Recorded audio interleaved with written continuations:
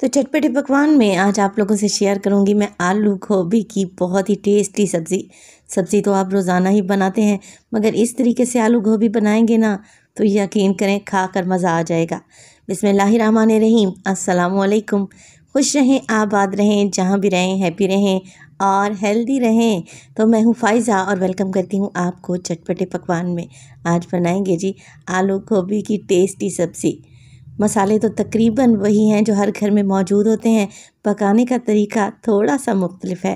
तो सब्ज़ी की इस टेस्टी रेसिपी को एंड तक देखें। अच्छी लगे तो लाइक भी कर दें और चटपटे पकवान को सब्सक्राइब भी कर लें। तो चलें फिर ये टेस्टी आलू गोभी बनाना स्टार्ट करते हैं। तो इंस्टेंट और चटपटी सी आलू गोभी बनाने के लिए सबसे पहले तो मैंने ले लिया है एक कप कुकिंग ऑयल मैं प्रेशर कुकर में आलू गोभी बना रही हूँ। आप पतीली या कढ़ाई में भी बना सकते हैं। चलें जी, यहाँ पर एक मीडियम साइज़ का प्याज लें, बिल्कुल फ़ाइन सा स्लाइस करके डाल दें। अब प्याज के साथ ही मैं डालूँगी एक अदद बड़ी इलायची, जिसका मुँह खोल आप लोग शामिल कर दें।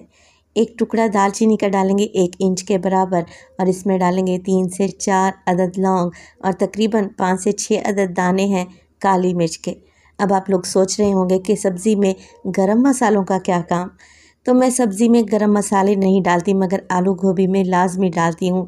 वो क्यों डालती हूँ? इसलिए कि आलू गोभी की एक टिपिकल सी स्मेल होती है, जिससे बड़े बच्चे शौक़ से नहीं खाते। इस तरीके से आलू गोभी बनाएँगे ना तो गोभी में बहुत ही अच्छी खुशबू आएगी। तो देखें बातों ही बातों में प्याज का कलर लाइट सा गोल्डन हो चुका है। ऐसा ही कलर मुझे चाहिए था। बस इसी स्टेज पर डाल दूँगी मैं इसमें अदरक और लहसुन का पेस्ट, डेढ़ टेबल स्पून इसमें अदरक की मकदार ज़्यादा है। वो इसलिए है कि गोभी बादी होती है, अदरक की मकदार ज़्यादा ही रखा करें। मिक्स करेंगे और 20 से 30 सेकंड के लिए इसे भी भून लेंगे और फिर इसमें डालूँगी मैं टमाटर का पेस्ट। दो टमाटर लें, मिक्सी जार में डालें और फाइन सा पेस्ट बनाकर शामिल कर दें। पाउडर मसालों में डालूँगी एक टीस्पून नमक। इसके अलावा मोटी कुटी हुई लाल मिर्च का इस्तेमाल करूँगी हाफ़ टेबल स्पून। डालेंगे इसमें हल्दी एक चौथाई टीस्पून के बराबर और इसमें डलेगा धनिया पाउडर एक टेबल स्पून भर के। बस जी, यही मिर्च मसाले डलने थे।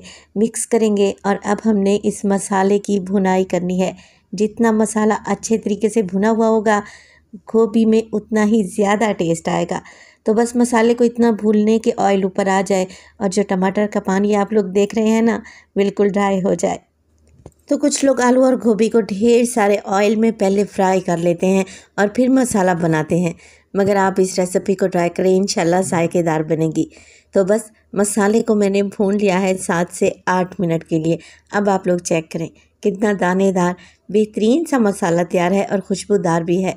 इसी स्टेज पर इसमें डालने लगी हूँ मैं गोभी तो एक किलो का गोभी का फूल लिया था मैंने, जिसे बारीक बारीक मैंने काट लिया है। अच्छा मेरे घर में गोभी हल्की सी घुटी हुई पकती है, यानी कि थोड़ी सी मैश की हुई पकती है। अगर आप इसे खड़ा खड़ा या साबित ही रखना चाहते हैं तो गोभी के बड़े फूल काट लें।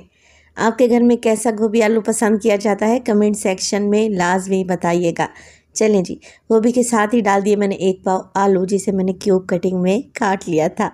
और साथ के साथ इसमें डाल दूँगी चार से पाँच हरी मिर्चें, जिसकी डंडी निकाल दें। बस जी, अब कुछ भी नहीं करना। गोभी को मसाले में मिक्स करना है और इसकी भी भुनाई करनी है। तो ये आलू गोभी की जो सब्ज़ी मैं बनाने जा रही हूँ इन ताला ढाबा स्टाइल बनेगी और खाने में भी टेस्टी और खुशबूदार होगी। तो बस छः से सात मिनट के लिए आप लोगों ने गोभी और आलू को इकट्ठा ही भून लेना है।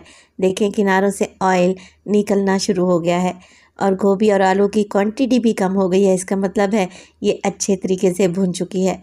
अब मैं डालूँगी इसमें पानी। अच्छा अगर सीज़नल गोभी होती तो मैं इसमें पानी नहीं डालती, मगर क्योंकि ये आउट ऑफ़ सीज़न है तो इसलिए थोड़ी सी हार्ड है।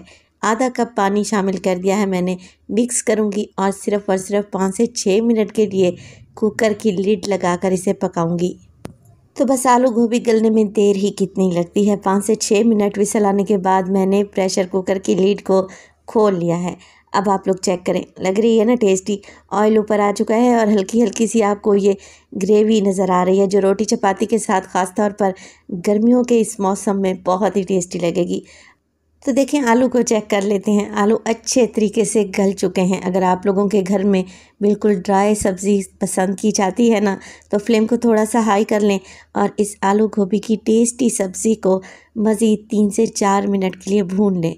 मगर मैं क्या करूँगी, इसी स्टेज पर इसमें डाल दूँगी हल्का सा काली मिर्च का पाउडर तकरीबन एक चौथाई टीस्पून के करीब। और इसके अलावा डालेंगे इसमें ढेर सारा हरा धनिया। तो बस जी, मैं फ्लेम को ऑफ़ करने लगी हूँ, क्योंकि मेरे घर में ऐसी ही सब्ज़ी पसंद की जाती है, जिसे आप उबले हुए चावल के साथ, रोटी के साथ या फिर पराठे के साथ इंजॉय कर सकते हैं। तो रेसिपी बनाएँ तो अपना फीडबैक लाजमी दिया करें।